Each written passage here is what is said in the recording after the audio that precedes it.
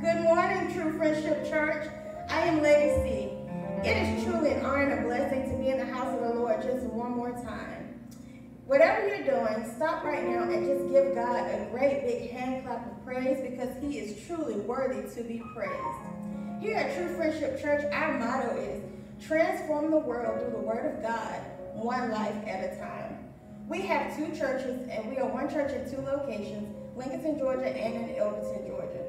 So if you're looking at us on Facebook right now, go ahead and share this video. And when you share the video, tag someone in it to let them know that True Friendship Church is live right now.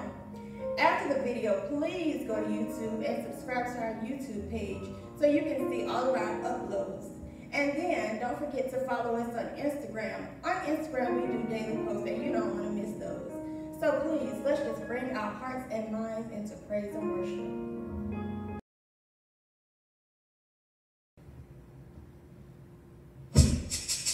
Praise the Lord, everybody. Praise the Lord, everybody. This is the day that the Lord has made. We choose to rejoice and be glad in it. Hallelujah. We serve an awesome God who's able to do exceedingly abundantly above all that we could ever ask, think, or imagine. Hallelujah. Exceedingly abundantly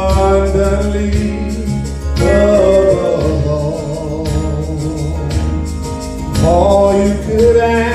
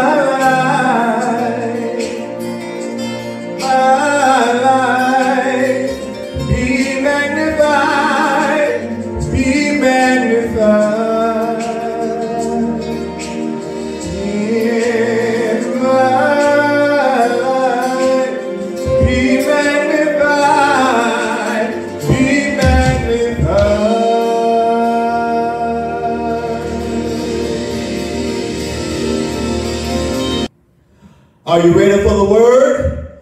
Well, before we go to the word, do me a favor, share this video, tag someone in this video so this gospel can get out to as many people possible. Without further ado, let us go to the word of God. Psalms 1, the first division of Psalms. Begin at verse number 1. Standing for the reading of God's word wherever you are. Psalms 1, beginning at verse number one, and it reads, Blessed is the man who walks not in the counsel of the ungodly, nor stands in the path of sinners, nor sits in the seat of the scornful. But his delight is in the law of the Lord, and in his law he meditates day and night. He shall be like a tree he shall be like a tree. He shall be like a tree planted by the rivers of water that bring forth its fruit in its season, whose leaf also shall not wither, and whatever he does shall prosper. The ungodly are not so, but are like the shaft which the wind drives away. Therefore the ungodly shall not stand in the judgment nor sinners in the congregation of the righteous. For the Lord knows the way of the righteous, but the way of the ungodly shall perish. Let us go back to verse number three, and there is where you will find my assignment for this morning. He shall be like a tree planted by the rivers of water that brings forth its fruit in its season that brings forth its fruit in its season, whose leaf also shall not wither, and whatever he does shall prosper. For the next few minutes, I want to preach about the mature season. The mature season. Type that in the comment box. Look at your neighbor at home or look at somebody around you and tell them the mature season. Let us pray. Father, we thank you for this opportunity to proclaim your word. Anoint my lips made of clay, that I will preach that and that only you would have me to preach. Hide me behind the old rugged cross. We give you praise, glory, and honor. In Jesus' name I pray. Amen. The mature season. On Tuesday, September the 22nd, 2020, we went from one season to another. We went from the summer season to the fall season. And I feel the prophetic utterance to tell someone that is viewing me this morning that your season is about to change. You are about to go from one season to another season. And the season you are about to enter is the mature season. Somebody shout the mature season. Now, there's no text without context. Therefore, allow me to put Psalms 1 in its proper setting. The author of Psalms 1 is not certain. But whomever he may be, he was instructing us about the way of the righteous and the wicked. The centerpiece of Psalms 1 is in verse number three. The centerpiece of Psalms 1 is verse number 3, and it says, He shall be like a tree. He shall be like a tree. He shall be like a tree. It is comparing a righteous person to a tree. There are several types of trees. An oak tree, pine tree, weeping willow tree, pecan tree, just to name of you. And we see how large certain trees are. However, every tree begins as a small seed. Every tree begins as a small seed and it grows into a large tree. tree.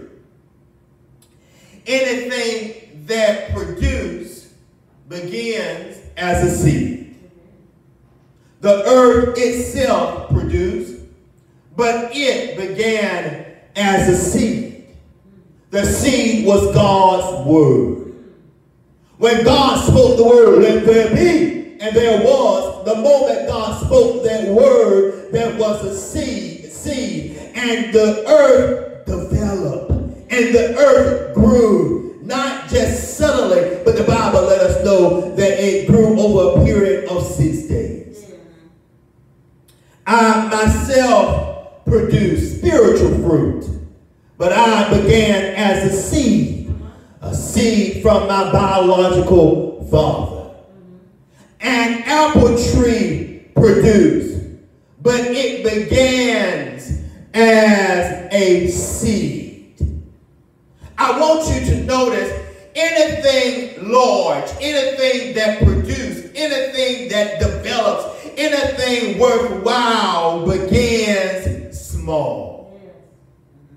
Anything worth having begins as a small seed. No wonder Zechariah chapter number 4, verse number 10, New Living Translation says, Do not despise these small beginnings, for the Lord rejoices to see the work begin. Uh, do not despise these small beginnings, for the Lord rejoices. He rejoices to see the work begin. He rejoiced in seeing the small. I want to let somebody know, don't despise your small seed. No matter what type of seed you have, no matter what the case may be, you may think it's nothing. You may think you're not going nowhere, but I want to tell you this morning, do not despise your small seed. Go ahead and look at your neighbor and type that in the comment box. Do not despise your small seed. And I don't believe some people fully understand that we are the seed of Abraham. Mm-hmm. We are the seed of Abraham. Mm-hmm. Abraham, God probably told you to leave your native land. Mm-hmm. Leave your family. Leave all of your kin people and go to a land that he, referring to God, will show you, Abraham. You may think that it's small, but Abraham, what you're getting ready to do, you're getting ready to change a generation. You're getting ready to be a father many nations. You, if you obey this small seed, if you begin to work in this small seed, you just won't change your life, Abraham, but you'll change your children's children's life. And when you're dead and gone because you did not despise this small seed, you'll change the whole trajectory of the nation. Do not despise your small seed. Abraham, I know it may seem small to you, But Abraham, you're going to change a generation. You're going to be the father of many nations. And what does that mean? That we are the seed of Abraham. God told Abraham, I bless those that bless you. And by me being the seed of Abraham, God will bless those that bless me. God told Abraham that I curse those that curse you. And by me being the seed of Abraham, God will curse those that curse me. God told Abraham, anywhere that your feet shall tread shall be blessed. And by me being the seed of Abraham, everywhere that my feet tread shall be blessed. God told Abraham, don't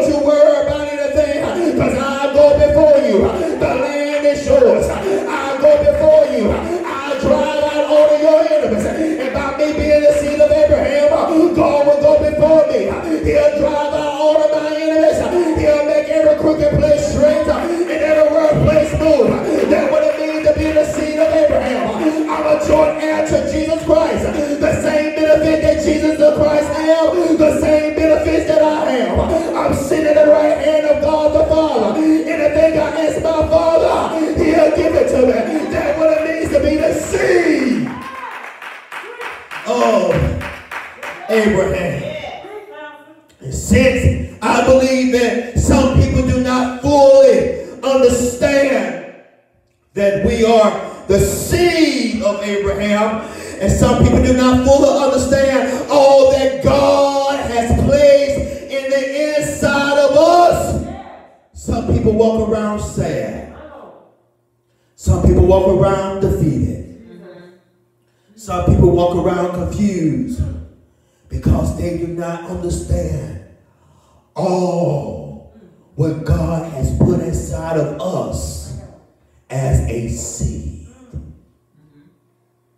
Wonder you are always confused.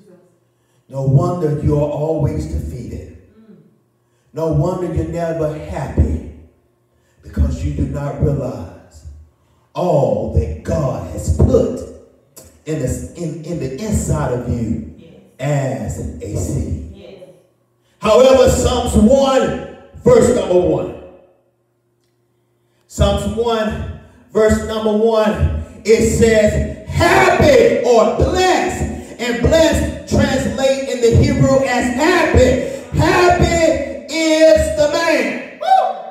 If you want to be happy and you don't want to be sad, if you want to be happy and you do not want to be defeated, if you want to be happy and you don't want to be confused, Psalms 1 says, happy or blessed is the man who walks not in the counsel of the ungodly. That is referring to your thoughts. Who walks not in the counsel of the ungodly because you don't know who you are as a seed. And because you don't know who you are as a seed of Abraham. And because you don't know who you are as a child of God. And if you walk in the counsel of the ungodly, if you get counsel from ungodly people, they will tell you who you are when you are not what they say you are. They will tell you what you should do when you know you should not do what they say you should do because you are in the counsel. And anytime you get counseling, counseling for ungodly people, they will change the way you think. A man thinks, so is he. So you'll begin to live a lie. You'll begin to be a lie because you are in the counsel of the ungodly. But if you want to be happy, if you want to be blessed, Psalms 1 verse number 1 says, Blessed or happy is the man who was not in the counsel of the ungodly. Next he says, nor stands in the path of sinners. This is referring to influence or behavior. Behavior. And, and Psalms 1 verse number 1 says that if you don't know who you are as a child of God, and if you don't know who you are as a seed of Abraham, the Bible let us know if you stand in the path of sinners. Sinners will begin to change your behavior. Sinners will begin to influence you to do ungodly things. That's why he says, if you want to be happy, if you want to be blessed, if you want to see the manifestation of God upon your life, you shall not stand in the path of sinners. Because if you stand in the path of sinners, they will change your behavior. They will influence you and change your behavior. Next part of that verse, it says, happy or blessed is the man who stands or who do not sit in the seat of the scornful. That is referring to belonging. And if you want to be happy, and if you want to find out all that God has placed in the inside of you as a seed of Abraham and as a seed of God, the Bible let us know that we shall not sit in the seat of the scornful. Then it's talk about belonging. And the scornful is talk about those people who are always sitting in judgment of everything and everyone. If you find yourself always judging everyone and everything, that means that you are sitting in the seat of the scornful. No wonder you cannot have any peace. No wonder you can't have any joy because you're too busy looking at other folks. You're too busy judging other things and other people. But if you really want to be blessed, if you really want to be happy in God, if you really, really want to understand all that God has placed in the inside of you and the inside of us, the Bible let us know that we should not sit in the seat of the scornful. We don't belong there. We should not be there. The Bible says, judge not and you will not be judged. Don't be there. You don't belong there. So Psalms 1, verse number 1, it deals with your thoughts, your behavior, and your belongings. Type that in your the comment screen. Verse 1, Psalms 1, verse number 1 deals with your thoughts, your behavior, and your belonging. And it goes on. And it let us know if we want to know who we are as a seed. It moves to verse number 2. It tells us what to do. If you really want to know who you are as a seed of God, if you really want to know who you are as a seed of Abraham, if you really want to know who you are as a child of the king, verse number two tells us what to do. But his delight, his delight is in the law of the Lord. The law of the Lord is referred to the Torah. His delight is in the law of the Lord. And in his law, he meditates day and night. Let me deal very briefly with this thing of meditation. Because contrary to proper belief, when the Bible speaks of meditation, it is not talking about sitting in a quiet place and just having music playing and, and just listening and thinking about things. That's not meditation. When the Bible speaks of meditation, the Bible is telling us to get our word, to get the Torah, to get the Pentateuch, to get the Old Testament, to get the New Testament, get the word of God and meditate in it. Meditate means you read the word of God out loud not reading it to yourself, but meditation is talking about reading aloud, reading out loud. Oh, one thing about when I was in school, many of my friends, and even in college, many of my friends that like to study with me because I read out loud. I really can't read to myself because I can't really process everything that the book is talking about. But if I read it out loud and hear myself reading the word of God, I say atmosphere and it goes back into my ear. I can comprehend what I'm reading. And that's the same thing uh, for the Word of God. That's the same thing with the Word of God. The Word of God tells us to meditate in His Word. And if we meditate in His Word, that means read it aloud. If we read, get God's Word and read it out loud, it goes out in the atmosphere and we hear it and it goes back down in our spirit. That's what it meditate in the word of God. I know you read it in your private time. And I know you read your Bible on your lunch break. But when you get by yourself in your secret closet, get the word of God. Get the law. Get the Bible. Get the Old Testament. Get the New Testament. And read it out loud. And once you read it out loud, it goes back into your spirit. What does the word say? The word tells me that I'm conqueror. And when I read that out loud, it feeds my enemy. What do the word say? The Lord told me that he'll never leave me nor forsake me. And when I meditate on that, read that out loud, it feeds my spirit. That's what you need to start doing. You need to start meditating on the word of God. Read it out loud so it can feed your spirit, so it can feed your inner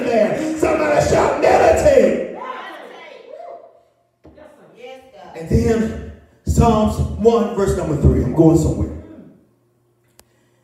It tells us this, and here's the centerpiece of Psalms 1. He shall be like a tree. Now, it's going to compare a righteous person to a tree. He shall be like a tree. Underline that word. Highlight that word in your Bible. Put that word in the comment box because I'm really going to deal with that. Because if you don't understand this about this tree, you won't understand where I'm going with the sermon. And he shall be like a tree. So Psalms 1, the author of Psalms 1 is comparing a righteous man to a tree. Mm-hmm. And remember that a tree starts as a seed. And what do you do with a seed? You plant it. Mm-hmm. He shall be like a tree planted uh-huh. by the rivers of water. Mm-hmm. I already stated that after you get a seed, a tree seed, and if you want it to grow and produce, you must plant it. Uh-huh. It's not good enough just to be a seed if you're not planted. Mm, Many people know that they are a child of God, but they are not planted. You must be planted in God. Talk about, and he shall be like a tree planted by the waters. And the Bible let us know that Jesus and God, they are the living water. Yes, yes. So I shall be like a tree. I shall be a seed planted in God.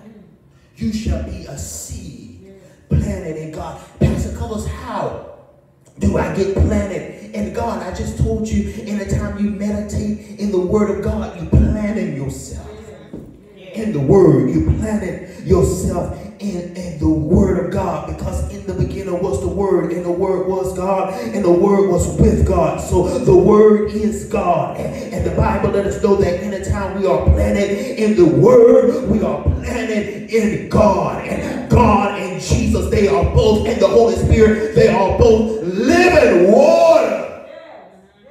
So he shall be like a tree. A righteous person shall be a seed planted in God. Now it's important to note that before a seed can grow into a tree that produces, it's important to note that the seed must go through several stages. Stage number one, I already told you um, the life cycle of a tree. the life cycle of a tree. Stage number one, I already talked about it, is the seed cycle. If I can say this, if you will, the seed season. And I really I already dealt with that. That's when the seed is planted in the ground. Cycle number, uh, the next step or, or the next season, if you will, is the sprout season. Th- This is when the seed is planted in the ground. And, and when the seed is planted in the ground, it, it must be planted in the right environment. And when it's planted in the right environment, the environment must be the right environment to get water and sunlight. The seed must be in the right environment so it can get some water and sunlight. And got to get water, and Jesus is the living water, and they got to get sunlight, and, Jesus is the light of the world. It, got, it, it must be the seed must be in the right environment to get water and sunlight. Water and sunlight. Jesus let us know that God, Jesus, and the Holy Spirit is the living water. And Jesus said that I am the light of the world. So the seed must be in the right environment. And once it get water and sunlight, it sprout out underneath the ground so it can get and form roots. It must be in the right environment. Then the next season that the seed goes through, or the tree, if you will, goes through. It, the first season is seed. The next season it is sprout. It is forming root. Now the third season is seedling season. The seedling season is when the seed has sprouted out and it takes the appearance, a wooded eh, appearance, and, and it develops a hard stem, and it develops bark on the tree mm-hmm. to protect the tree. And the leaves begin to unfold on the stem. Mm-hmm. But it's still competing for sunlight because the tree still needs sunlight. Mm-hmm. But the, this stage, the seedling stage, is the most dangerous stage. Because in this stage, the seed is more subject to die. Because diseases, pests, and fire and drought can kill the seed. And it can be over for the tree. And somebody this morning found themselves in that season. Seedling season. It's that, it's really just mean that you in survival mode. You are doing whatever it takes to survive. I mean, water is everywhere. Fire is everywhere. A drought is everywhere. I know you got the appearance as a Christian. You you are a Christian. You are a believer. And, and you are competing for the sunshine. You're trying to reach the sunshine. But although you looking up, fire is around you. And the water is flowing. And, and, and for some people, you find yourself in a drought. It's because you are in survival mode. You're doing whatever you can just to survive. You're doing whatever you can just to survive. You, in the truth of the matter is, you just live from day to day. And I can't take care of tomorrow because I got to worry about today. And if I worry about today, tomorrow will take care of itself because you are in survival mode. And you find yourself in the season. Season. Mm-hmm. In the next season, you would think the next season it would be the season that the tree can produce mm-hmm. but it's not. Hmm. I know a lot of people would say that after I come out of this, after I come out of this, that the Lord is going to bless me. After I come out of this, that the Lord is going to bring me through after I come out of this fire, after I come out of this storm, the Lord is really going to bless me. And I know a lot of people talk about that, but I want you to know that that's not going to happen in this stage. Uh-huh. That after you come out of the seedling stage, after you come out of seed, of the seedling season, what happened is God has to replant you. Yes.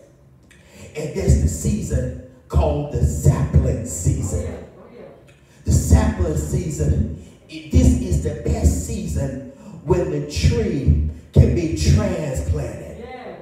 That means move from one area uh-huh. and put into another area. Uh-huh.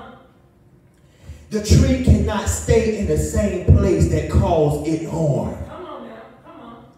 And many people say, Oh, after I make it through this storm, after I make it through this trial, after I make it through this tribulation, I'm going to get blessed. I, the Lord is going to bless me. But the Lord told me to tell you that He's not going to bless you next. He's going to have to transplant you. You cannot stay in the same place that caused you harm. You cannot stay in the same area that hurted you. You cannot stay in the same place that made you cry. You cannot stay in the same place that made you give up. And what God would have to do, He would have to take you in the sapling season. And when you go to the sapling season, He will transplant you to another area. He will transplant you to another place. He will transplant you somewhere where you can produce. And that's the place that some, some of you find yourself in. God is getting ready to transplant you.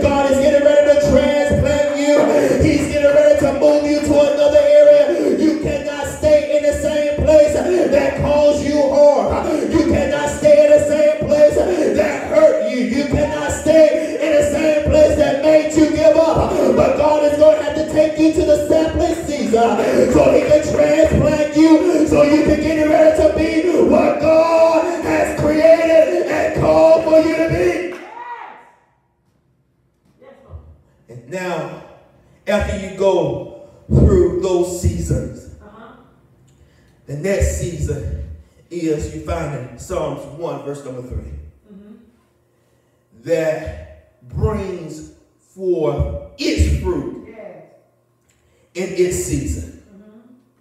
That brings forth its fruit in its season. Whose leaf also shall not wither. And whatever he does shall prosper. This season is called the mature season. The mature season is when the tree can reproduce. I want you to know something that anything that can reproduce takes time. Anything that can reproduce takes time. You must grow into it. You must grow into it. You must grow into it. Anything that can reproduce take time. You have to grow into it. Things just don't happen overnight. Things just don't happen overnight. You must learn that you got to grow into this thing.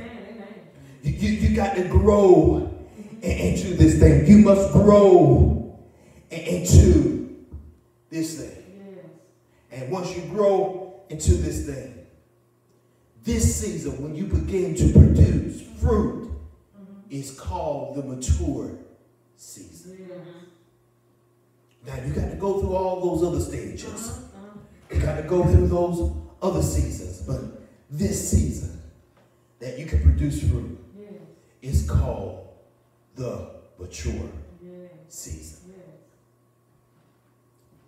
Can I go deeper? The difference in between an apple tree, an orange tree, tree, and a banana tree in us is an apple tree can only produce one thing apples. Mm-hmm. An orange tree can only produce one thing an orange or oranges. A banana tree can only produce one thing bananas. But the difference between an apple tree, an orange tree, banana tree, all those trees in us, mm-hmm. we can produce in more than one area. Yes. Hear me. We can produce in more than one area. Y'all excuse me. I've been trying to tell them I need some water. They, they can't get the hint. So excuse me. Let, let me get a small water break.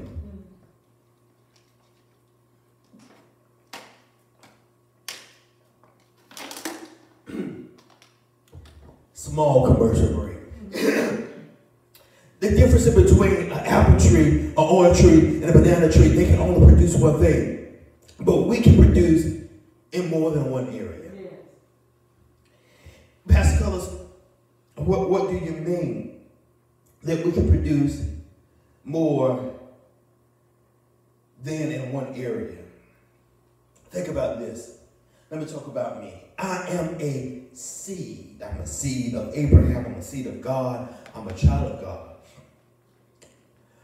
I am a seed, and inside of me, I have the calling or the area to produce in pastorship. Mm-hmm. I'm a seed that's a pastor. Mm-hmm. But that's not the only thing I, or the only area I can produce in. Amen. Not only am I, am I a pastor, I'm also a husband. I can produce in that area of being a husband. I'm not only a husband, but I'm also an executive director of a nonprofit. I can produce in that area. So I can produce in more than one area. An apple tree can only produce apple. A banana tree can only produce bananas. An orange tree can only produce oranges. And they can only produce in one area. But as a child of God, as a child of the King, we can produce in more than one area. And I want you to know, people of God, that's why you have to get in the Word of God. Mm-hmm. That's why you have to meditate day and night, all day and all night to find out what all God has put inside of you mm-hmm. as a seed. Mm-hmm. And once you understand that what all God has put inside of you as a seed, you will understand that you can produce more than in one area. Amen. I need to go a little bit deeper. There will be times when you are a, there will be times that when you are in the mature season in one area, but in the seed season in another area. Yes. I want you to understand that. I really want to bring this out because I want to bring this out with clarity and, and give it to you like the Lord gave it to me. Hear me. There will be time that you will be in the mature or mature season in one area that you are producing in that area. But in another area in your life, you might find yourself in a seed season or the seedling season or the sapping se- um, season or the sprout season because your calling, your gifts also operates in a cycle. Amen. Teach now. I could be producing, I could be in the mature season as a pastor, but I could be in the seed season as a father. Yes. Mm. Yes. I could be producing as a husband, but I could be in the sprout season as an entrepreneur. I'm all, some of you will always, most of us, all of us will always be productive or always produce in at least one area. But in other areas in your life, you may not be in the mature season. You might find yourself in another season because your gifts, your callings, everything that God has placed in the inside of you operates in a cycle, in seasons. Yes. Yes. Yes. Yes. Teach us. That's the difference in between us and an apple tree or orange tree and all those other trees is we can produce more than in one area. And, and since my calling as a pastor, since I started out as a seed a- in my mother's womb, and then by the age of 17, I began to be in the seedling stage. And then by, uh, when I did my initial sermon, I got in the sprouting stage. And, and now I find myself in the maturing season and, and in the preacher because I'm producing in that area.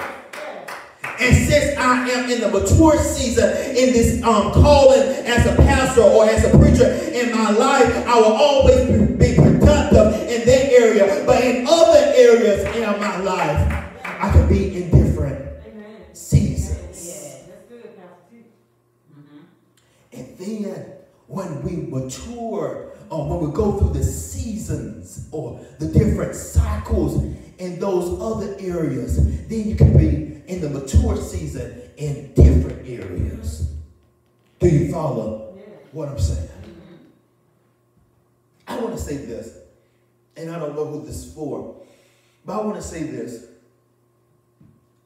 When I was writing this sermon, the Lord revealed this to me. And I, I don't know who this point is for. And only the mature people can really handle this.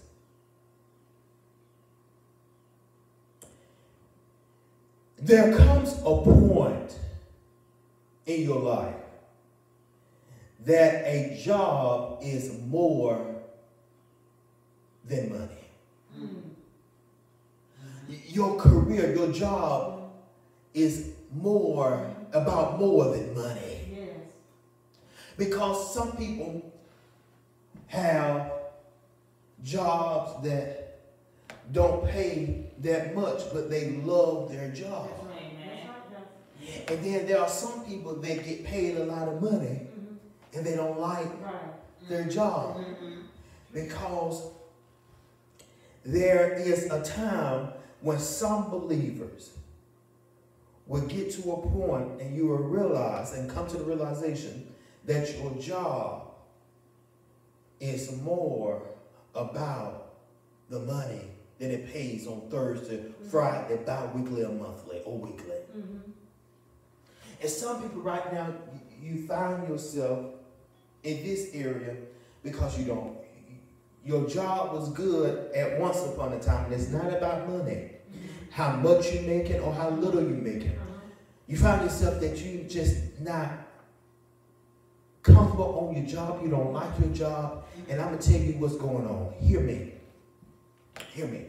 Hear me. I'm going a little deeper. Hear me.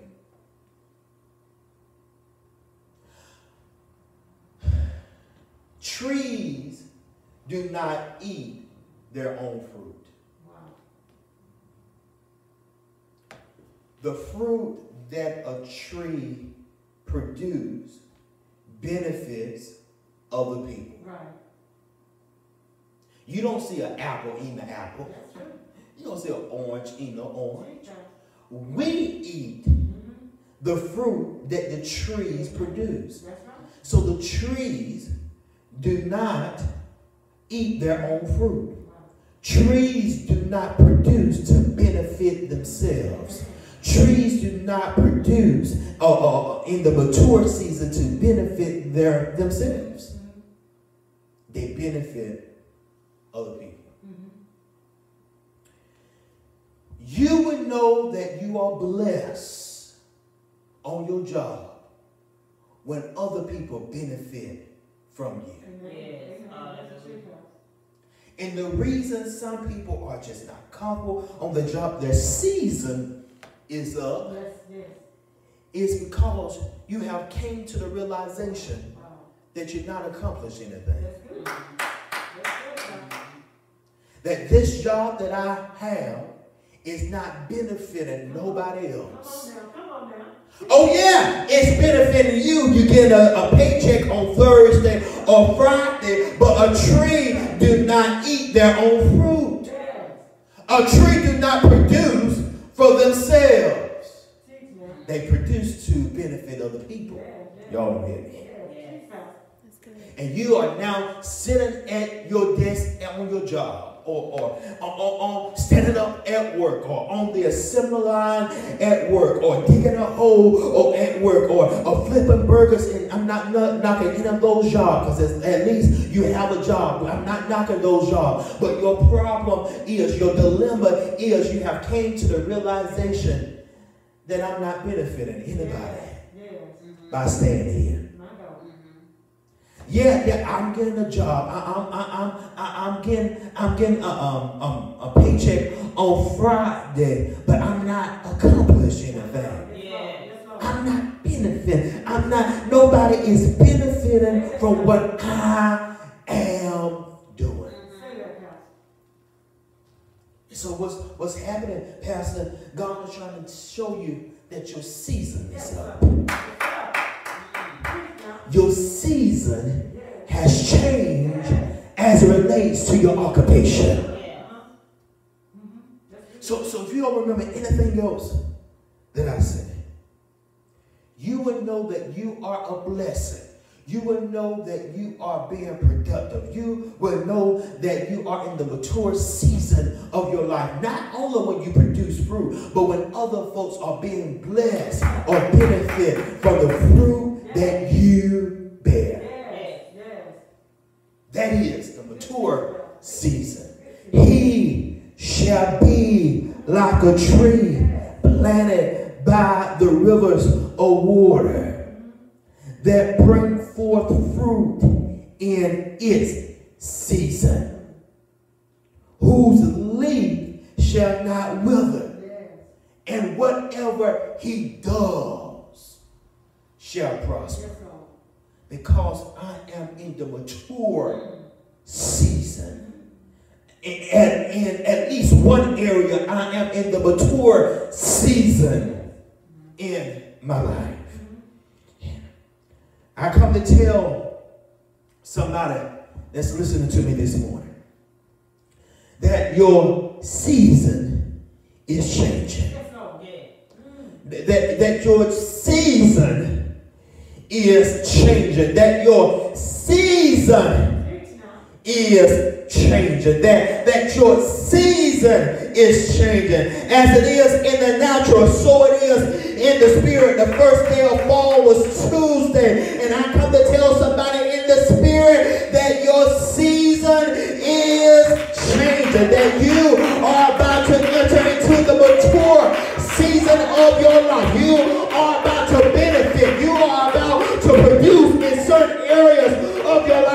through many seasons. You've been through many stages. You've been through the fire. You've been through the flood. You've been planted. You've been rooted. And now you've been planted in God. And I come to tell somebody that you are about to enter the mature season of your life. I want you to look at your neighbor. And I want you to type in the comment screen. This is my mature season. This is my mature season.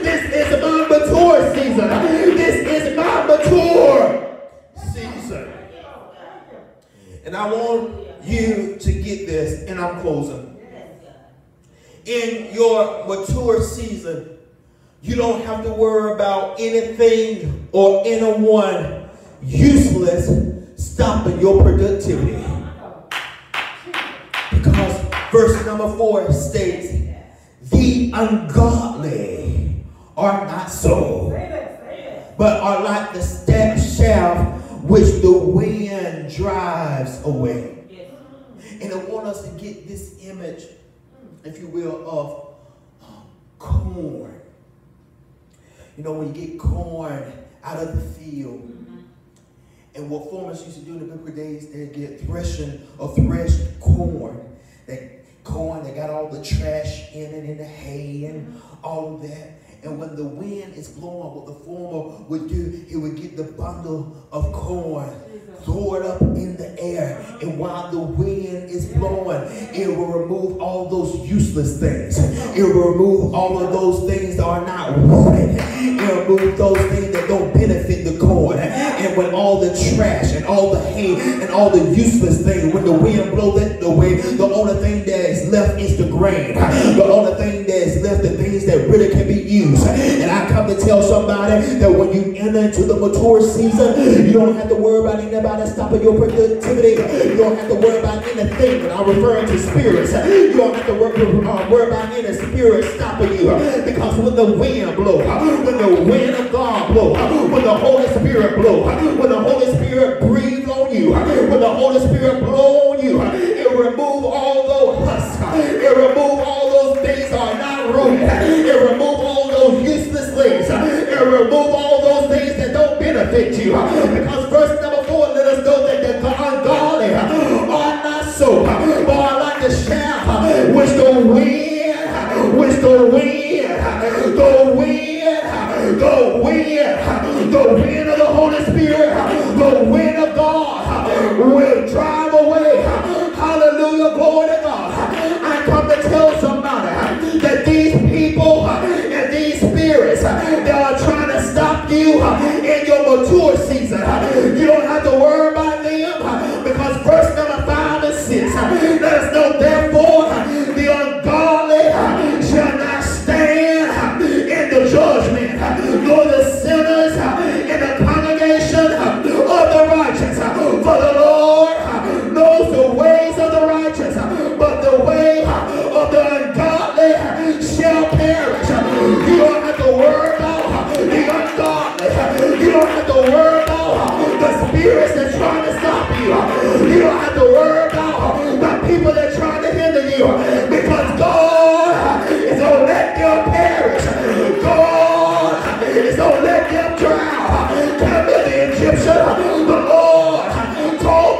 Egyptians uh, and the Israelites, uh, the enemies uh, referred to the Egyptians that you see today, you won't see them no more.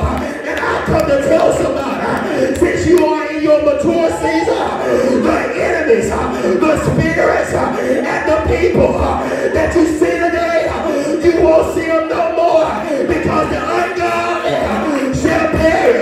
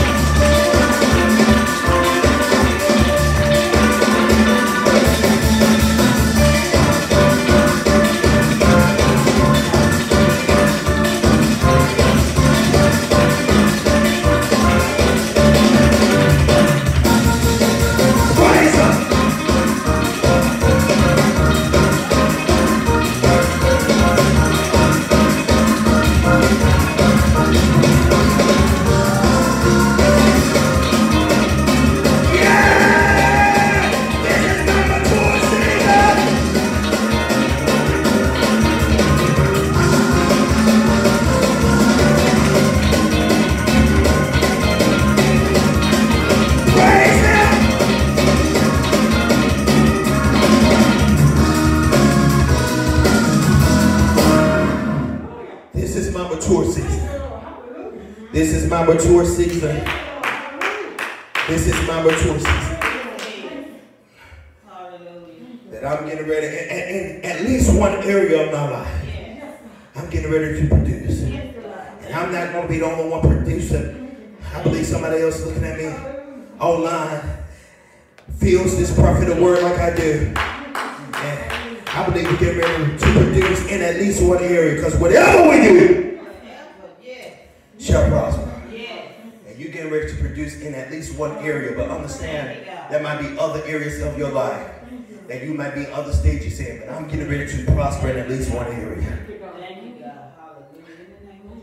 Before you click off that string, I know you're still praising Him and lifting your hands. But before we end the service, I don't want you to close out. I don't don't click off that string. Don't don't click off that string. I don't want you to don't don't click off. Don't don't, don't you don't you click off. Don't you leave me yet. Because if you believe this is your season, nothing won't grow if you don't plant a seed. From nothing comes nothing. But if you plant a seed, if you, you plant a seed, before you click off, I, I know many of y'all view me every week and, and- you never plant a seed.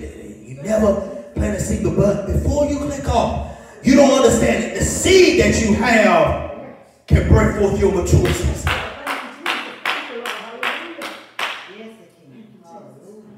You click. I don't care how small your seed is. Don't despise small beginning. Because the Lord rejoices to see the word begin. Before you click off, before you click off, the ways to give are on your screen. And it's on there. Now, I want you to get off. it. The Holy Spirit is pulling at some of you. I want you to give an offer to this ministry. Give an offer to this ministry. Let's see. You can give on Givelify. Find True Friendship Church in Lincoln or True Friendship Church in Elton. Don't you close out. Don't, the Holy Spirit is pulling you. This is your time to plant a seed. Or you give on Cash App. I want you to plant. You don't hear this kind of word without planting. God has brought. God has brought you clarity about what season you in or what season you're about to enter. Don't you close. Don't you, don't you, don't you get off of here without giving. And here at True Friendship Church, we do something else. We have seed offering. And this is when people bless the man of God, which is yours truly. And, it's, not about the pastor getting money, but at True Friendship Church, we understand the principle that if you give, you shall receive a prophet reward. We understand the principle that it's not me preaching, but it's the Holy Spirit preaching through me. And, and, and if, if they continue to walk and hear words and plant seeds in their pastor's life, and I don't want you to close out without planting a seed. It's not about me, but it's about the anointing. The anointing that God has placed on my life. Without God, I'm nothing. Without the anointing that breaks every yoke, I'm nothing. And before you close, I want you to sow into my life. My cash app information is on the screen right now. I want you to sow. Every week, by the grace of God, I hear from heaven and bring you words. Sometimes God interrupts my day to speak to me concerning you or to minister to you for the week. And before, before, before you close, it's two ways or two things, areas you need to sow in. To True Friendship Church, Cash App, or Givelify. That's one area. And another area you need to sow in is yours truly. It's not about money. Because God has blessed me when people didn't even give. But I have seen people, people, and people can testify that they come and they sow into my life fifty dollars, some hundred dollars, some twenty dollars, and they come back the next week, Pastor. I, I, got a testimony about sowing into your life. God gave me that triple what I gave you. God, God opened this door in my finances. God opened this door in my career. Don't you close out without sowing into True Friendship Church and into the anointing that God has placed on my life. Wherever you are. Before we close out, I want you to sow. Oh, we have heard from heaven. I said, we have heard from heaven. You have received clarity concerning your life. Hallelujah. And you know what God is getting ready to do. He's getting ready to bring you into this mature season. But but nothing, from nothing comes nothing. Nothing won't happen if you don't plant a seed. You got to plant a seed. Hallelujah. I still feel a praise. The mature season. Come on, take me out, Jeremy.